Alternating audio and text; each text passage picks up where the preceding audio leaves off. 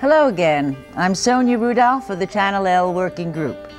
We hope you found Social Security Close Up helpful to you. We're here each Wednesday evening bringing city government into your living room. Check your cable guide for upcoming programs. See when the Channel L work Working Group comes to your neighborhood. Next at 8, find out what's being planned for the old Essex Street Market area on Manhattan at Large with Council Member Miriam Friedlander. How will its gentrification affect the Lower East Side? Call in, ask questions, let us know your opinions. Our guests will be waiting for you to call. Just phone 505 6363. Manhattan at Large is being brought to you by the Channel L Working Group.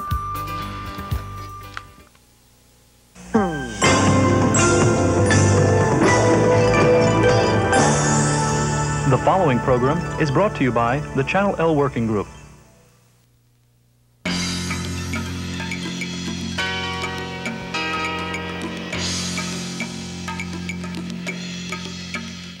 Councilmember Miriam Friedlander is a four-term representative of Lower Manhattan, first elected to the City Council in 1974. Her district includes such diverse areas as Wall Street, the Lower East Side, Tribeca, Little Italy, Soho, and Chinatown. Councilmember Friedlander is known for her unique ability to unite these geographically and economically diverse and culturally rich neighborhoods.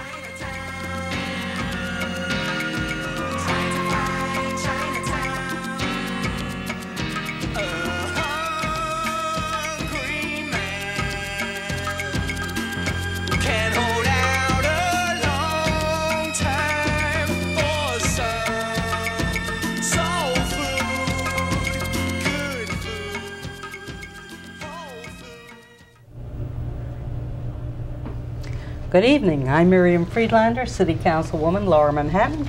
Welcome to Manhattan at Large. Well, tonight we really have an old Manhattan story.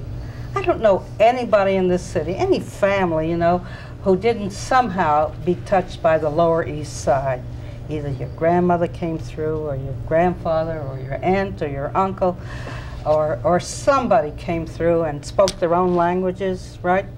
Uh, it was a wonderful place to be, and I can tell you, everybody has a story about it. And I threaten people, if you don't behave in the Lower East Side, we'll prevent you from coming in, and you'll never get another hot pastrami sandwich. How's that? All right? Mm-hmm. Well, unfortunately, today we have a sad story to tell, and I hope it's going to turn out to be very happy in the end. And the sad story is that all of you who ever went to the Lower East Side or your family went there, everybody, I'm sure, went to the Essex Street Market. You know, that was kind of on Delancey Street and Essex, and it was a wonderful, wonderful wonderland to go through. Everything was there. And we hope that we're going to be able to keep it that way. But unfortunately, this administration has other ideas about this old nostalgic market. They want to sort of uh, turn it into a developer's dream. Now, if you flinch at the idea of developer, I do too. Because every time I see one of those luxury high rises, or I see these new boutiques and fancy restaurants, that's a developer's dream because it makes a very big profit or a big commercial. And that is the threat. That is the threat today to the Essex Street Market. And I brought some wonderful friends with me here today, and they're going to tell us all about the story. And we have with us today, ah, some people who came in to help. And that's Ken Reardon, right? And you are from? the field study program at Cornell University. Can, we, can you imagine we have Cornell University down in the Lower East Side doing studies. And here we have Allen Ruhalter. And Allen is the president of the Merchants Association, right? That's right, and I'm the third generation to work in the Essex Street Market. Wow. And my That's a son will be the fourth. And your son is working with you? He'll be the fourth. How about you can keep him down in the Essex, you may not be able to keep him on the farm, but you can keep him on the Essex Street Market, okay? Okay, and here we have some wonderful people who are also helping. And you're Charles Peterson. I'm from the Pratt Institute Center. Pratt Institute, when we hear about that, we hear about people who help us keep good things going. And now we have another merchant here, merchantess. anyway, she comes from the Candy King. And Some of you been there know what that's about, and that's Doris Herschkowitz. How long have you been in the market, Doris? Well, the, the Candy King has been there for 45 years. Wow. And you can And- still get a piece of this and a piece of that? Yes, you certainly can. You make your own selection, your own assortment. Uh-huh. And you put it in a bag and they walk out? Yes, and we have customers from way back that still come back Is that right? Just to reminisce sometimes. Okay. Well, what's the story? What's going on there?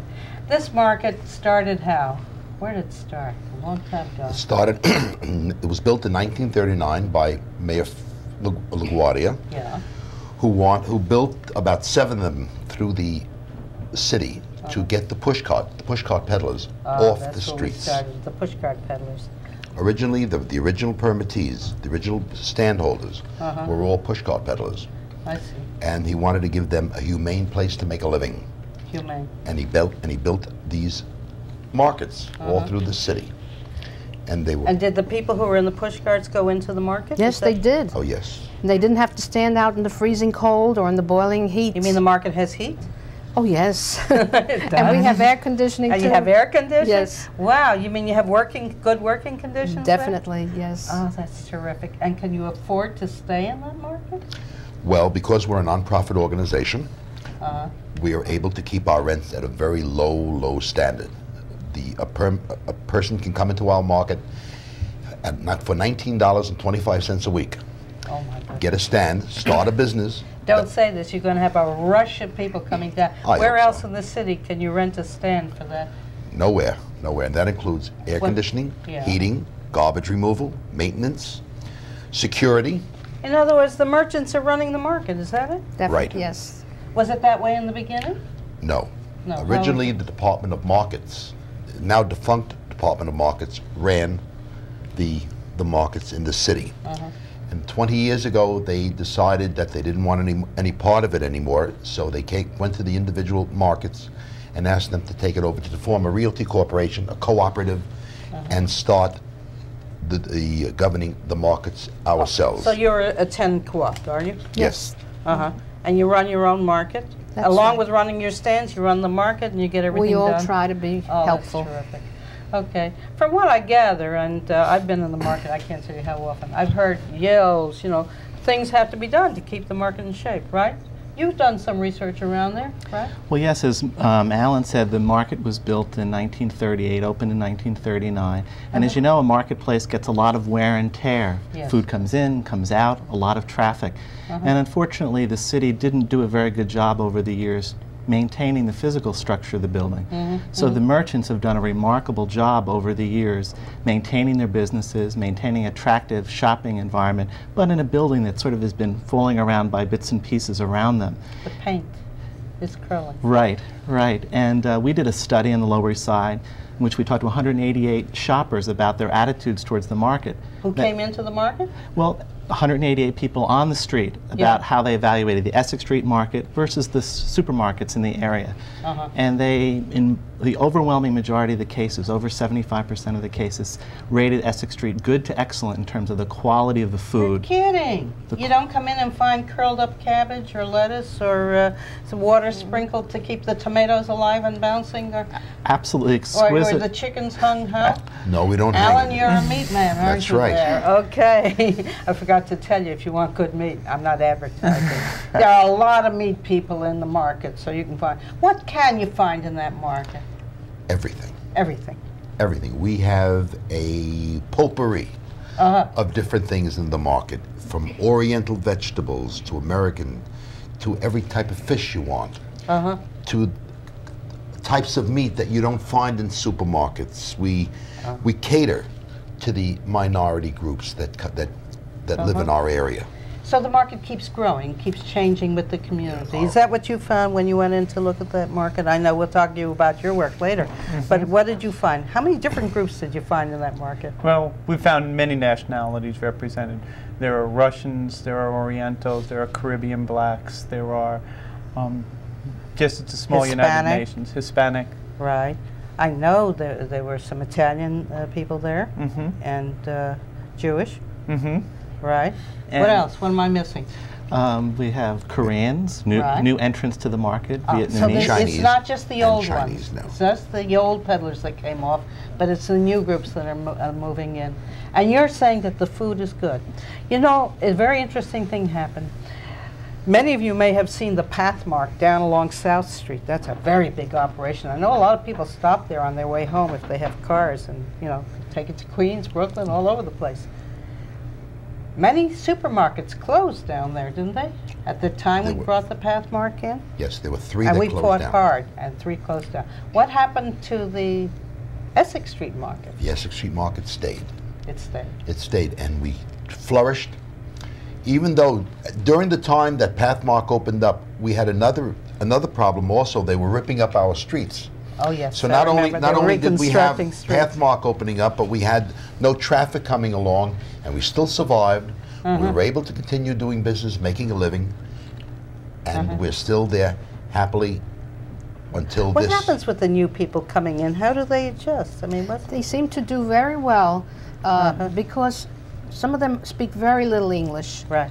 and um, I don't think they could get a job making or d- working f- at Uh-huh. any other job except Uh-huh. here. And here they, They come and they feel important because Right. they're business people. All right. So let's see what the problem is. The problem was that all of a sudden they were notified that the city wanted to make changes down there. Now it's true the paint has to be put on, the the uh, roof has to be fixed up. There are a lot of things that have to be done. But all of a sudden the city put out what they call a request for proposal and all the developers could come in on the act. And if they put enough money to it, the city would recognize them and let them take the thing over and fix it up. Well, I must tell you, I suddenly got calls from the merchants, and I've been working with them through the years to help them try and get support from the city to fix the building and to keep in shape. And what was happening? The city decided they were going to make money out of this thing, that they were going to get it in shape where they didn't have to do anything with it anymore. And they were bringing it in. And they did put out a request for proposal, and they did get an answer from a developer who wanted to deal with it, right? Yes, and the first RFP that went out, we were told by the Department of Ports and Terminals that we were not allowed to respond. Ah, now this is a policy that said to the merchants who had run this market and kept it for the people all these years that they were not allowed to keep their own market or even to respond to say, hey, we're capable of doing it. And that was bad. So I gathered everybody together. We called the agency. We arranged a meeting because the one person who responded to them was a person who didn't even have the experience that the agency wanted. It was a supermarket chain. And they were allowing them to come in and try to push these merchants around in order to take it over. We said no dice. We had that meeting, we got together, and we convinced, convinced the agency that they should give the merchants a shot at this, right? Yes, it was quite a meeting. Wasn't it? You did a, you did some job. well, we all did. We all told the story. We had everybody there. You invited all the uh, all, all the different offices of, of, of city government, and they all responded. They all came down. And the borough president, The borough president came down, and, and, and the uh, controller's office. We had And we had people group. from the community board and from the Yes, the The boys individ- club. The, com- the communities came down to, to, to uh, and they didn't know what was going on. And after we uh, after you had spoken, uh-huh, we turned it over. we turned it over. I want to say that a wonderful job was done by everybody from the point of view that they agreed they would do a new request for running the market. But there were certain things that we got put in there. One, anybody who was able to run the market had to consider the merchants. Do you remember how we did that? Were you aware of what went in That there? was before I came in. that was before you came. Well, before uh, you, you put in uh, a point where the They weren't allowed had- to push anybody They weren't allowed out, to push right? anybody out, and Right. a person had to, anybody taking over had at least had at least five years' experience right. in running uh, running a retail establishment in this fashion, and also you made sure that we were protected rent-wise. Rent, no more, no more than, what was it, a 5% A five percent increase? increase in rent. per year. So, you see, things can be done. when they get together, when everybody gets together. And that's what we were able to do in the meeting with the thing. At that point, they came out with a new request, and we did say, hey, merchants, we've got to get you some real good help. And that's when we went out and reached for their professional people who are aware of it, right? Right. And uh, one of the groups that helped, offered help to do the studies, to do the research, to do that, was Ken Reardon and a whole group of interns or students. Students. 21 undergraduates from Cornell, many of whose grandparents actually lived in the neighborhood. Oh, And For? Mm-hmm. many of them, it was a wonderful experience to go back and touch those roots and see that the Lower East Side still is a place of opportunity for newcomers and that the market is, provides important services to those new residents in our country. Uh-huh.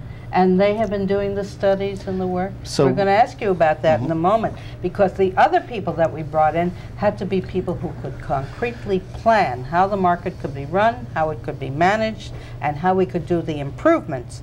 And we went to Pratt Institute, this wonderful Pratt Institute that really helps everybody at very little pay. right? That's right. Tell us what happened. with- How did we reach for you? Well, um, we came in on a request both from Allen and from the borough president's office. Uh-huh. And we came down to an evening meeting after the marketplace had closed, um, in which all the merchants close up their stands and sort of stand in the aisles, and it's sort of democracy at its best, I think. Uh-huh. Um, and at that time, we began discussing what the possible alternatives would be for the merchants, Uh-huh. laying out um, their the possibility of them submitting a proposal on their own, or possibly trying to interest a developer who would work directly with them Uh-huh. to provide his experience and his reputation as a means of successfully responding. Uh-huh, uh-huh. Okay, so you had jobs laid out for you, right? Okay. I, I don't think these gentlemen realized how big the job was for them. and they've come they've, they've come through with splendid Beautiful flying. excitement for us. Right. I think that's what began to happen, and the excitement was there from people who were very depressed and very discouraged, the merchants who sat there and thought that the city would be able to roll over them. Mm-hmm. Suddenly, we had this meeting together with all the people involved, and there's a whole new spirit there, right? Yes, we f- see a ray of hope Okay. that something is going to happen our We're- way. All right, we're going to do that. And we're going to go into what some of the things were done in order to help the merchants. We're talking about this because this is not just the Essex Street Market. This is really the fight of the small storekeeper, the small stand keeper against the gentrification that's going on all over the city. And the idea, can these people really serve their communities and continue to serve their communities, or must they be pushed aside for those who have the money and do the very expensive stuff? Uh, suppose we, uh, you tell us, what did you have to find out uh, before we could go ahead and make plans with you? You had to have some information, didn't you? Yes, certainly. We uh, what did you want to know? Well, we wanted to have some idea as to the different types of merchants who were down there in Uh-huh. terms of what they were selling, Uh-huh. right? Um, what the attraction was, how far people were willing to travel um, from the different areas of the Lower East Side to get in and shop at In that Essex and Delancey. I see. Okay. You mean if it was closed up or changed in something else, nobody would miss it because nobody really goes there anyway, is that it? Well, we need What to know. did you find? Well, we found that, um, first of all, most of the merchants who were there come from the neighborhood, are Lower East Side residents. Oh, really? That they employ for the most part Lower East Side residents. So any change in the future of the market would have tremendous impact locally in a neighborhood that's already suffering a lot of economic and social pressures to, due to gentrification and displacement. So Uh-huh. it really was important. We then interviewed people in the Lower East Side. How many people do you hire in there? How many people are working in the market? Oh, we have at least two, 200 people who work Really? in the market that are employed Uh-huh. by uh, individual. That's aside from the stand keepers. No, the stand keepers. Oh, includes- The stand keepers. How many employed. stands are there? Well, we have 66 per, uh, permittees. We must have about uh, 300 stands that are. 300 stands? Yeah. Wow, that's a lot. And you because say about multi- 200 people Oh, yeah, there are 200 people employed. employed. Okay, let's go back to your story. And then we talked to the Lower East Side residents, how they feel about the market. And as I said before, overwhelmingly they rank the quality of the food and the goods good to excellent. They also rank the quality of the service, the individualized attention. An older woman can go in as a senior citizen, get one slice of cheese, two chicken legs, and put together the kind of meal that fits her budget. Uh-huh. You can't do that, and people Not in recognize the that. supermarket, you can't do it. You have to take what's wrapped. Yeah, there you go. And that we found, unlike the uh, returns on the Are there a s- lot of older people living around that area? Yes, I had a customer today who said he's close to 90, Really? and he's been shopping at our place. Yes, just today. And he still buys candy? He comes He in all doesn't by have diabetes? No, He, uh, fantastic. you too can survive if you shop in the Lower East Side. right. You find you find that in our area, spe- uh, especially, there are a lot of golden age still living in the area because of the rental structure of their apartments, Yeah. and also the facilities for gold for uh, senior citizens is extensive in our area because there are golden age clubs all through the area, That's true. And they're taken care of. excuse me, they're taken care of. Their their um, they have uh, meals on wheels for them and everything, and they Uh-huh. stay in the area, they and they stay- stay in they the area. there. They live. This is But their uh, area. who else comes to shop? Uh, a lot of um, minority families, large families. We don't get too many single person households. Right. They don't do much cooking at home, I guess. So the large family, particularly with specialty ethnic food needs, go to Essex Street where they can get specialized types of meats like Like- rabbits or chicken legs or particular parts of animals that are important in terms of their own culture, in which the market has always served the needs of the new ethnic immigrant and still does. Who orders rabbits? Allen could tell you, he's the butcher. Spanish, the Spanish and the black. Uh-huh. That's an uh, important part of the oh, it's food. an important part of their fo- food. Uh-huh. They, um, there are so many different things that each individual I know the Chinese group- and Asians use a lot of the chicken legs and chicken. chicken legs and chicken feet also. Chicken feet. It's a new item that came into New York. Oh, really? Yes, because due to You the used to throw it away. Yes, due to the Orientals No more. in. No, it become it became an item, Uh-huh, uh-huh. and uh, that obviously we sell also. So if you want that special item, you go down to the Essex Street Market, right? If you want the special candy, you go down there. We have people. We, we have um, old people. You know, people that, that moved out of the neighborhood that come into the area. You know, just as to, to reminisce, and they come in and they see the chicken feet or they see the different items that we carry, and they bring it. The smile goes on their face, and they uh-huh. say, "Oh, I remember when." Aha. I know a lot of people do that to me when they hear I'm represent the Lower East Side. We get back to your story. What else did you find out? And we found that, as Allen said, people come from much further distances to shop at Essex Street mm, Really? than they do at the supermarket. Typically, in a city like New York, you can never get people to sh- walk more than six or eight blocks. Well, Essex Street, we found people coming from other parts of Lower Manhattan, southern Brooklyn, and even parts of Queens and the Bronx, because they recognize the value that's present there, the service, and that they can get the specialty food that they need in the quantity that they can afford I and bet some of the use of. people who come to shop on Orchard Street, which is about a block away or two blocks away, they probably come over and shop at the market too, yeah, don't they? They make a double Yes. header out of it. We yes. So we also have a very good fish market in our building. Uh-huh. And uh, that's something rare in the city. You can't get fresh fish on, I don't know where. Right. It's a And they'll come to the market, some of them just for the Uh-huh. fish. Right. So you find that there's a lot of community support for that market. Absolutely. Do they make special uh, discounts and things for seniors? Is that it? Yes, there So- is a program. There is a program like program that? was started Uh-huh. for uh, senior citizens, and uh, we joined it. Uh-huh. And uh, when a senior citizen does come in, we Yeah. take care of him. He is. We help him with his packages. We help him out go outside. If he wants a cab, we get a cab for him. Uh-huh, Naturally, we do whatever we can for the senior citizen. Right. No, I know there's a very special concern there. too. I think the important thing is that this is so much a part of the community and service for the community. What would happen if this was changed or lost from your? Uh, Well, it's clear that if it was turned over to a private developer who Yeah. is interested in maximizing his or her return on profit, that they would attempt to attract new, higher income customers Ah. so that they can enhance their profits, which would mean that they would have to charge higher rents to the merchants in the Uh-huh. market, and that would displace many of the long-time families like True. the Julius uh, Candy King family and the Ruhalters, three In other generations. words, just the jobs themselves and the merchants themselves, the small storekeeper. I know you have a lot of other types of things. I know they fix watches there.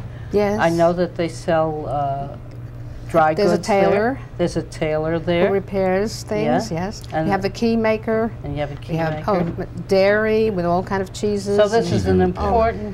Important, part of the work in the community itself, in many languages.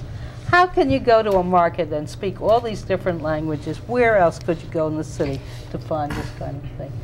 I think that the idea here was to see, so you found it was really important to keep, good quality products, an employment source, and also one of those very rare places in the city where small uh, families can still start their own business. There- It's a real incubator. There's a whole legacy of small stands starting in the market, growing prosperous and successful. in and other words, you don't have to come in and pay a thousand bucks a month in And- order to get started on a business. and then they can move out onto Orchard Street or Delancey, and then there's space for a new business to be grown. And Uh-huh. in a city where we have a great deal of difficulty keeping our small businesses alive and starting new ones, Right. this is critical because that's the largest source of new jobs in America, small businesses. And the market Are there is other markets around like this? Not in the that I know of. Not that I know of. Yeah. What happened to maybe- La Marqueta? Is there one up in the East Village? I mean, in East, uh, In, in, there, there was on it's 116th Street Yeah. and Park Avenue. La Marqueta was one of the best markets in the city. uh-huh. And it's, what happened to them is a travesty. They were taken over by private developer. The city did to them what they're trying to do to us, and it is a complete disaster. What's happened up there? Their rents are increasing. They're, they are not being taken care of the way the lease was supposed to be written. No matter what's written into that lease, that developer is going to squeeze. They huh? are not. They are not doing. They're not living up to their their, their part of the bargain. Uh-huh. And from the experience that Park Avenue is having, this is one of the reasons why you people came to. Why you people help are helping us. Right. Because In other words, know- it's very important. If it goes into a developer's hand, then it takes that squeeze for the profits. Right. And the merchants really can't hack The it in. merchants are the ones that that are hurt. So that's why we're doing that. Well, I think that's a very important thing for us to remember because we're now going to go into the story of how we did get together with the merchants and we brought Pratt Institute mm-hmm. down.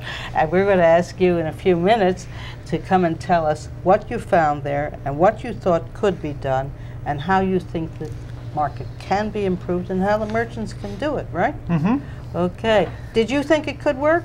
Yes, absolutely, I did. Um, when I went in and, and met some of the merchants and took a look at their merchandise, Uh-huh. um, it was pretty clear to see that, that this was the type of merchandise that sells. Oh, it does sell. Absolutely. Who does it sell to? I think it, it attracts a tremendous following locally, um, but also its location um, both with the Williamsburg Bridge and with um, the subway stop beneath it Uh-huh. makes it a real source of many low-income people who are looking to stretch their um, food dollar to the maximum. Uh-huh. They'll go in there, they're able, one stop, to quickly check a number of different merchants, find where the price is that, that they're willing to pay. Uh-huh. Um, Do and people buy. wander around in there? Sure. Around through the Yes, aisles? Oh, we yeah. have a lot of sightseers. Checking the prices, A lot of uh, sightseers, seeing people all the going sights around. there? Is that it? Com- comparing prices from one to the other merchants. I've seen people walk through South Street Seaport, you know, things like that, and go, Yes, "Ugh, yes. I can't take it, I can't make it, you know. Oh, That's a market in the See, that is that uh, the uh, seaport is a definite uh, thing. right. yes, I agree with you. It's a very rich person's market. It's not our kind of market. Well, we're going to have to break here just for a few minutes. And when we come back, we're going to tell you what our idea of a market is and why we want to save the Essex Street market for the way it is for the community, for the merchants, and for the city as a whole. Okay? I'm Miriam Friedlander. We'll be back with you in just a few moments.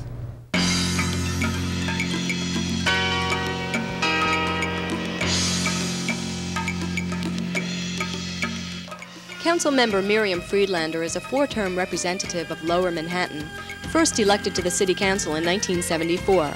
Her district includes such diverse areas as Wall Street, the Lower East Side, Tribeca, Little Italy, Soho, and Chinatown. Councilmember Friedlander is known for her unique ability to unite these geographically and economically diverse and culturally rich neighborhoods.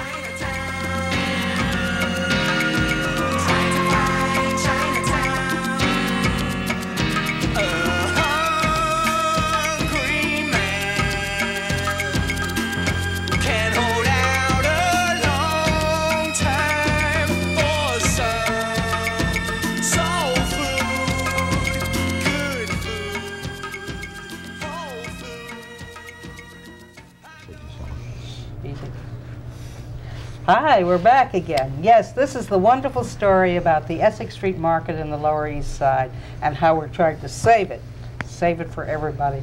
And I have these wonderful guests with me, and here we are from Cornell University. Ken Reardon. Okay, From the Essex Street Market, Allen Ruhalter. right? From Pratt Institute, Charles Peterson.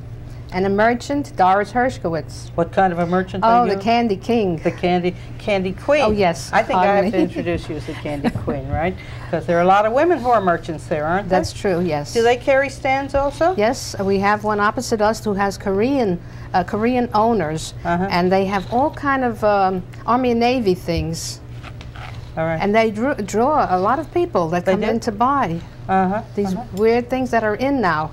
The weird things that are in there. Yes. if you walk through the East Village, everybody's wearing it, huh? Yes.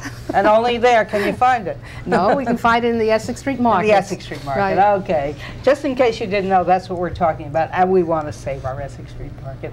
We have seen that the merchants have been running the Essex Street Market since they were peddlers on the street. It was brought inside. The city ran it for a while, then the city said, hey, we don't want to buy. The city gave away a lot of jobs very expensively, didn't they, in the beginning? Oh, Inspectors, Yes. six inspectors for that six, market. seven inspectors. At sixty-five thousand a year? This sounds like something we're unveiling Well, these the garbage, uh, the uh, Department of Markets paid the Department of Sanitation sixty-five thousand dollars a year to remove removal of the garbage. Uh-huh. When we took over, we got private sanitation for twenty thousand dollars a Oh, year. wow.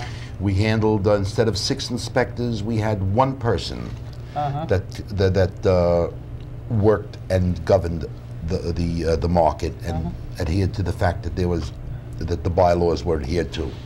And we had a board of directors, Uh-huh. naturally, and uh, they uh, met once every two weeks, and uh, everything ran smoothly, Almost, almost smoothly. almost because, smoothly, well, like any operation, you know. Well, there's- You're there's gonna have always some headaches. differences, There's always right? headaches. We don't want to make you perfect. no, I mean, we try hard. Okay, I think it's a wonderful spirit there, though. Everybody has entrepreneurs, they have their own Right. ideas. But it did work, and it did keep going. Because I know I was called in quite often to see that the city supplied what it was supposed to supply. They were supposed to fix the roofs. Is the roof still leaking?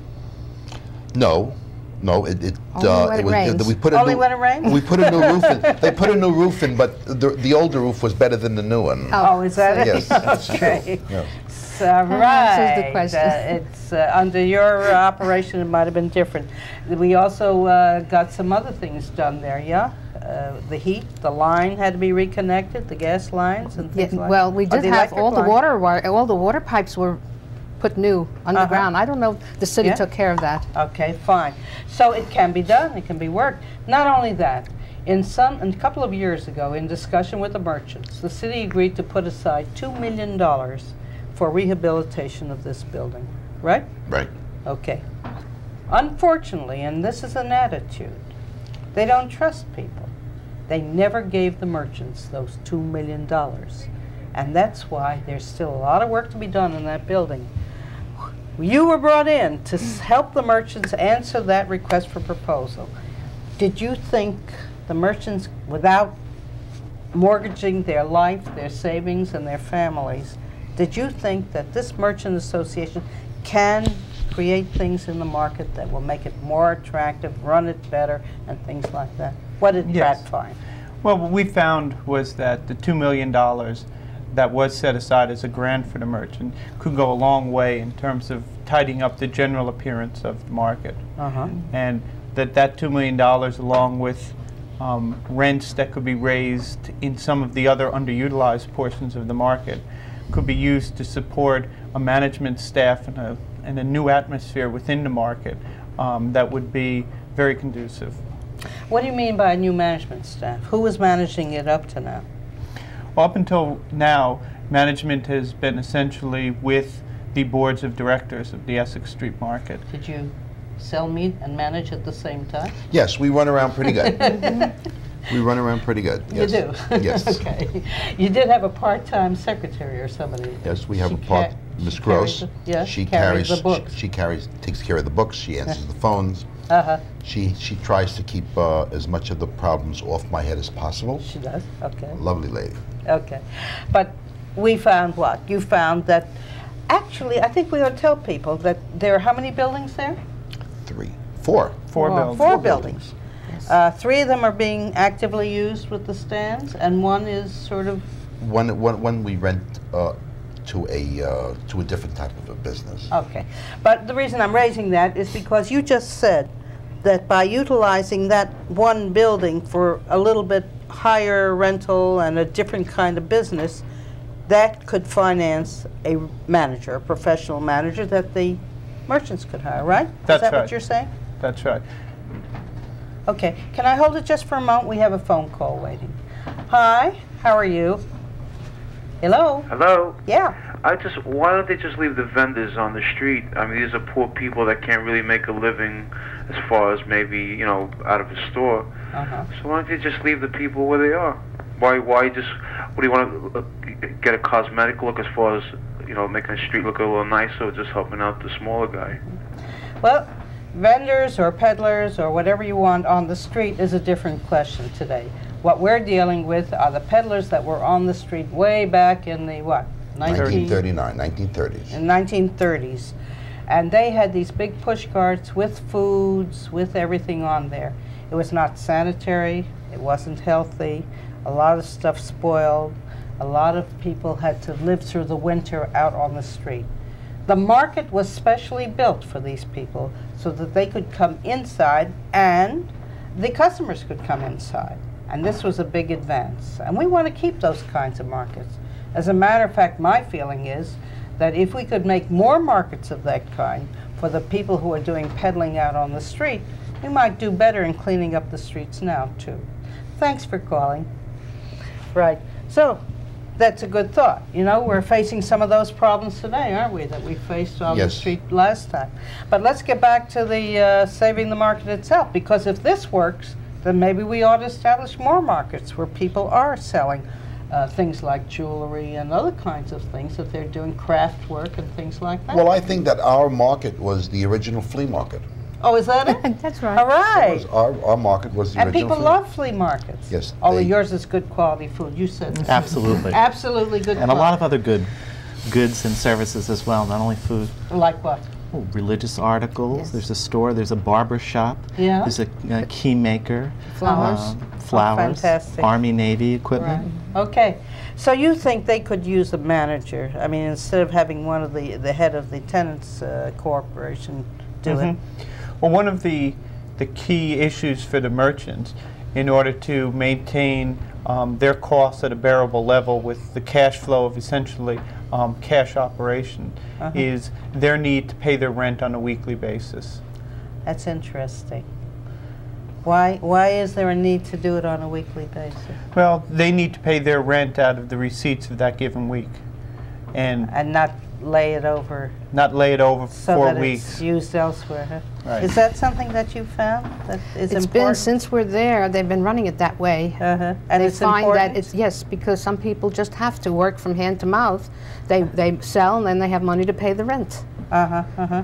And, when And- some da- some some months may be better than other months, but they do have s- little slow months, and some that are um, It's a psychological flourishing. thing. And social situation. Psychological. You don't you don't expend that much money out We at the at once a month. once a month. You throw it out every week. that you don't feel it. uh-huh, don't feel it uh-huh. as So it's easier to handle, Right. is that mhm. Doesn't sound like much when he says it's only 1975 a week. But it is? no, it isn't. But but it still sounds much less than if you add it all together at the end of the month. It sounds like much more. So if a developer came in and, and rented it out, they would demand monthly payments, Yes. probably at a much higher rate, and that would destroy this ability of these families to run these different stands. Mhm. That's interesting. Uh, also, a professional management company, not the management company we're proposing, might look to lock merchants in on multi-year leases, because his one of his major ways of attracting private financing Yeah. will be to bring to the bank contracts guaranteeing income coming into him. And leases are that form. Well, what do you mean by multi-year lease? Well, he would, he would You mean if you, if you took a stand, you would have to sign a lease, what, two years, three years, four years, what? three, five years. Most developers in this particular case would not want to go more than five years because I think the long-term potential of the market is greater in the years Going six up, through up, up, ten. up in rentals and stuff Right. like that. And uh, what do the merchants want on that? Uh, personally, it's the city that doesn't want to give us our lease, and we're right now without a lease.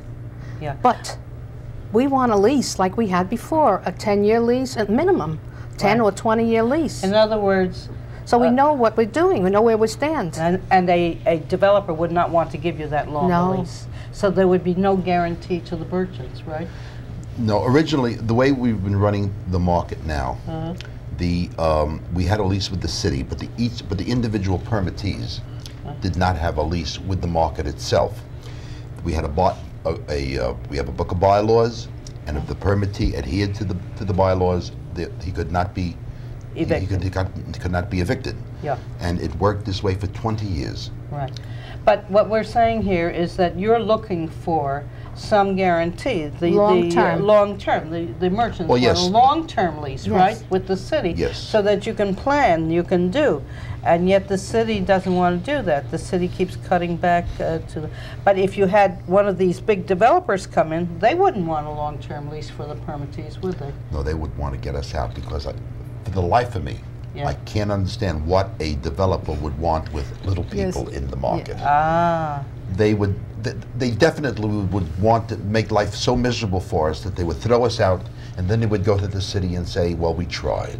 uh-huh. We try to keep them, the little people with us, the poor people, but there's no keeping them. They can't, and we're, we have an empty building. Now, allow us to Change the whole change the whole character of the thing. facade and do a Right. boutique or whatever. Uh-huh, uh-huh. We have another call. Hi, how are you? Hello? How are you tonight? Do you have a question? We're not connecting. Oh, we lost them. Oh, come back. We'll talk to you. Okay? Hi. You were telling us what is possible for the merchants to do. Mm-hmm. Right, go ahead. Um, another thing that would be possible for merchants to do that would really help their business would be to coordinate some type of advertising campaign. Uh-huh. Both as method of, of joining the one purchaser coming into the market who might come in to buy Allen's meat would then be aware through a circular or some other form of advertisement that there are um, other bargains available, either as candy, Army, Navy supplies, something like that. In other words, you could number the stands, and somebody could get a, a sort of a diagram of the stands in the market, and know at this stand you get this, and at this stand you get that, and that. that. Mhm. So you can go pick one of these and one of those, two of that. Right. There's probably a number of people who shop at the market who have particular vendors that they've done I know they business with for many yeah. years. Um, and when they go into the market, they choose that door to go through, go directly to that merchant, and, and aren't as aware of some of the other people within the market. Uh-huh. So you could really do a campaign of, of improving, uh, reaching out for the many different vendors and help them on that. What else do you feel could be done there? Well, I think there are other types of um, businesses that could be brought in there that would be able to be quite successful.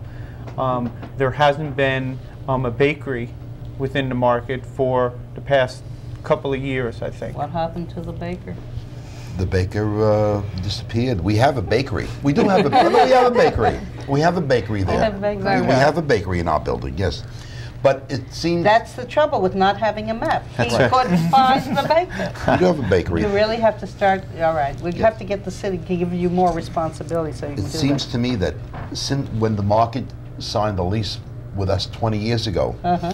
it was the, was a diabolical scheme of theirs to let the market deteriorate Uh-huh. all through the years because they did not never lived up to their terms of the lease because according to the lease they were in charge of structural repairs. Uh-huh.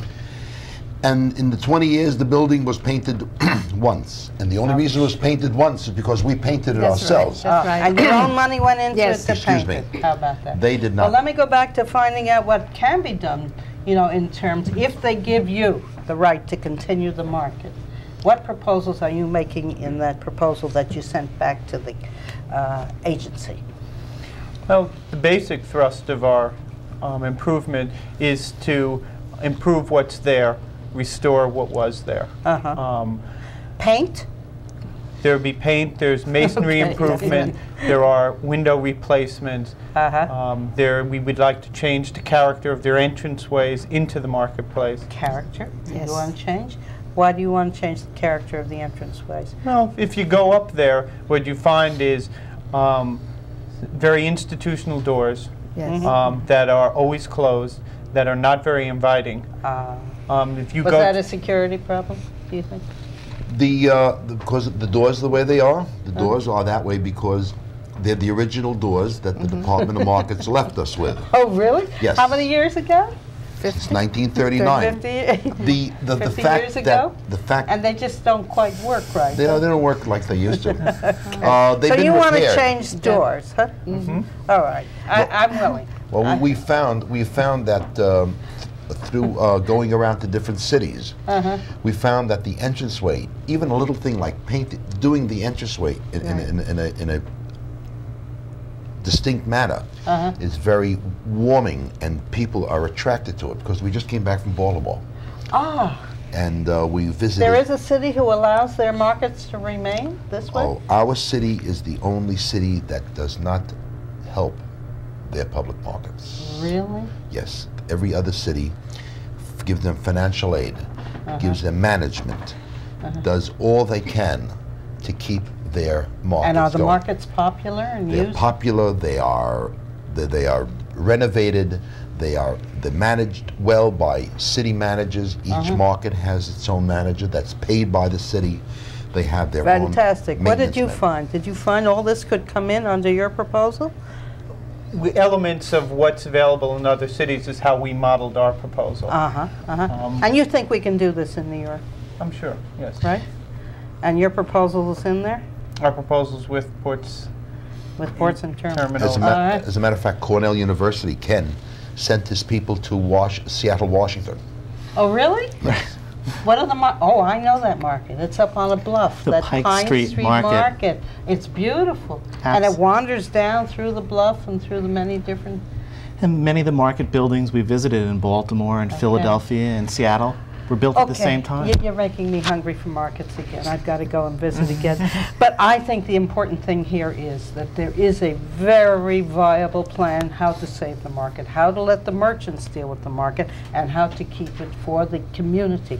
Talk community, you know? That's the one thing I really want to talk about here today, and you all can help me. And that is this community has been so supportive in the Lower East Side. The community board, right? Right. You went to talk to them? Oh, they were Oh, yes. absolutely fantastic. Weren't they? Mm -hmm. What did they tell you? They said, we are with you 100%. Right. And the letters are starting to come in, and the, the diff- Grand Street Settlement is, has sent us, uh, has sent uh, mail. Henry Street Settlement is sending mail. All the settlement Sure. houses. All the settlement houses are ICC. There are nine settlement houses in the Lower East Side, and they're all They, supportive. there, there isn't one. There isn't one uh, Because uh, settlement their people come to the market. It's a lifeline for them in the market, right? Right. Okay. The community board has. What happened there? I was invited down there for a tour through the market. Who are the people that you got down there for that tour? Well, you were involved with that, weren't you? Yes, well, we found out when we called many of the local and state officials who were supposedly involved in markets, many of them hadn't been to Essex Street in their lives Oh, really? or in their They careers. don't know what they. So we invited them down, and they Uh-huh. got to see the wonderful goods that. Uh, Were you down that day when we Yes, walked through? Who was there? Do you remember? Um, There were representatives from the state markets. Agriculture and Markets Agriculture Department. market. Yeah. Um, City Council President uh, Andrew Stein's office was represented. Manhattan Borough President Dinkins' office. Mario Cuomo's office sent a representative. Uh-huh. Of course, you were there. Yeah, there was a woman named I'm Mrs. there. Friedlander. She was Yeah. there. Right, okay. I'm always there. Right. I mean, th- this is the lifeblood of our community, and it's very important that, that everybody see it, and I'm very proud of it, too. Even if it does need painting. I think it, it's That's a the wonderful. Department of Ports and Terminals' fault. I also feel What? that the place needs a little fixing up, Uh huh. but we don't need a partner.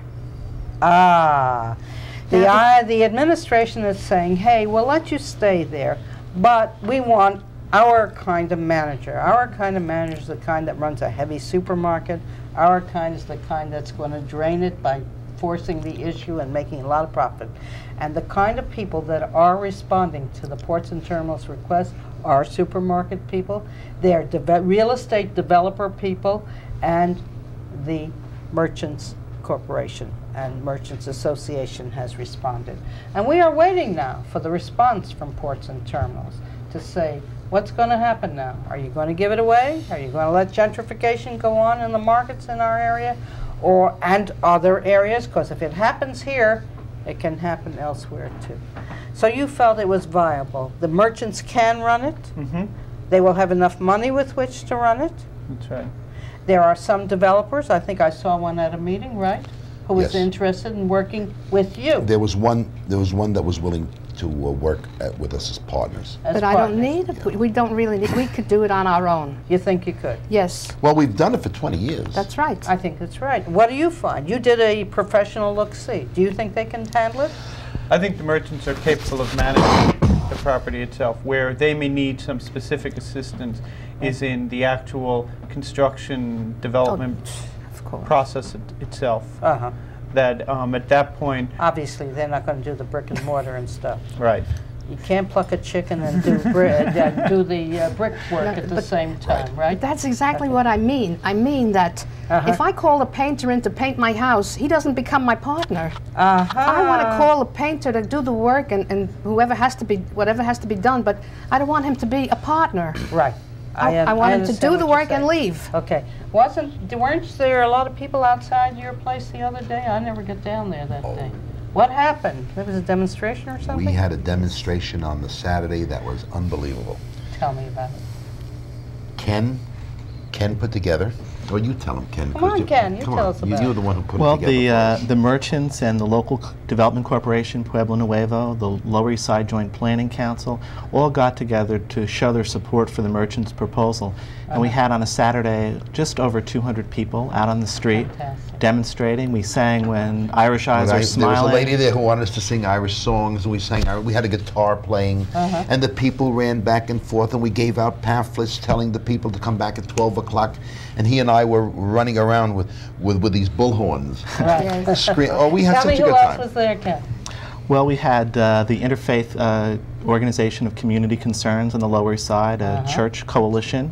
Um, a number of uh, the settlement houses were represented, and the local development corporation, and again, uh, Borough President Dinkins' office, and we had a representative of your office there. Uh-huh. So. So, what we're saying here is that this market is not just the old pushcart market on the street, but it's really become a full part of the community and serves the community, right? I'm not That just being do. sentimental, No, am that I? we do. I'm not just saying, you know, keep the old stuff around, be sentimental, nostalgic, let your uncle come back and look at what used to be. No? hmm Well, This it- is really works. It huh? proved the point that we were able to stay, that people supported us even when Pathmark and the supermarkets closed down. Uh-huh. That we stayed and we still made a profit. So it only proves that the people do do Uh-huh. support us. Okay. I think that one of the important things here is that we show we're not just talking nostalgia or beliefs or uh, interrelated with the community, you may say community, but this is a very practical approach. Don't you think so in this day and age?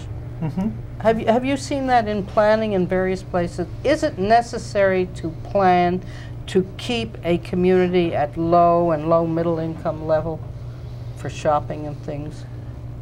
I don't think it's possible to plan communities in that manner. I think communities are constantly going to change and evolve into new, um, new forms, Right. just as life itself. And, um, so that what I think you have to do is, is you just have to allow certain types of activity to flourish. Uh-huh. In other words, you save parts of it that you think are important. Mm -hmm. Well, you must remember also that our neighborhood is unique. We have a tremendous amount of city projects in our area, That's right. and that is low and middle income people. Right. the rest of the city is becoming wealthy. And the only places, the only. I'm not sure they are. I think they're all getting poorer because they have to pay higher That's and right. higher rent. yes, but they, The, the real estate developers are getting Are wealthy. getting wealthy. Not the people. so the people, the people that live in our area are, are low to middle. Uh-huh. and the shops because of the rents because of the rents the shops the, the, the stores in the area cannot afford to be economical anymore they must meet these high rents that are going up we in the other hand have low rents and Right. our percentage of profit even though kept at the, the, the, the right uh, the right percentage can still be at a competitive lower than competitive. In other words, you can live. we can live we You can live on a much you less keep profit it this way, you can live on less profit. I think that what we're finding here is that it works. And while the rest of the city is saying it has to charge more because of increased costs, because of increased taxes and things like that, we are saying here it works. You have minimal rents, you have the ability to improve the building, you have the funds with which to do it, and you say they can do it. It does work. We're saying that you don't have to bring in the rich developers and the real estate people. I just read an item where Trump made money out of the Wollman Rink, which is just, you know, shocking that he should have done something like that, even though he claims he's going to give it away. But the point is, these merchants can stay there. They can do the right kind of produce to serve the community. They can see to it that the people are making a living who work there and that we can maintain that reasonable prices, reasonable rentals, service communities, service commercials. Oh, it's wonderful to live with the Essex Street Market there. What do you think? There's a good example of how the city worked with merchants in another part of town that we could sort of take a page from their book, and that is up in the Belmont section of the Bronx. Yeah. Instead of going with a private developer, the city worked with the local merchants, came up with a good redevelopment plan, Uh-huh. and there is a very attractive, renovated uh, shopping space. And the merchants are? The old merchants. So it can be done.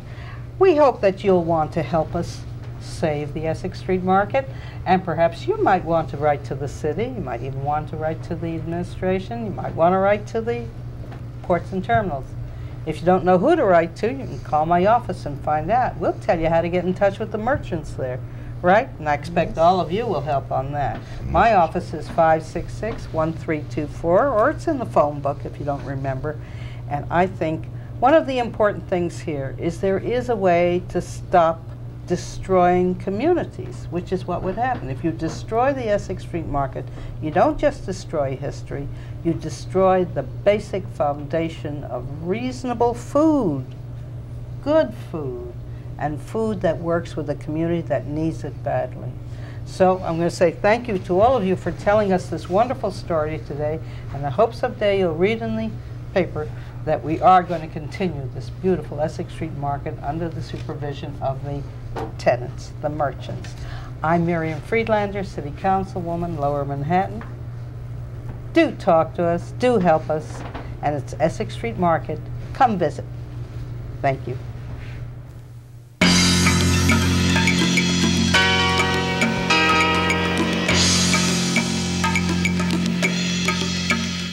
Councilmember Miriam Friedlander is a four-term representative of Lower Manhattan, first elected to the City Council in 1974.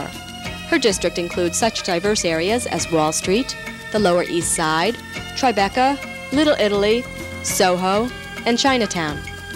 Councilmember Friedlander is known for her unique ability to unite these geographically and economically diverse and culturally rich neighborhoods.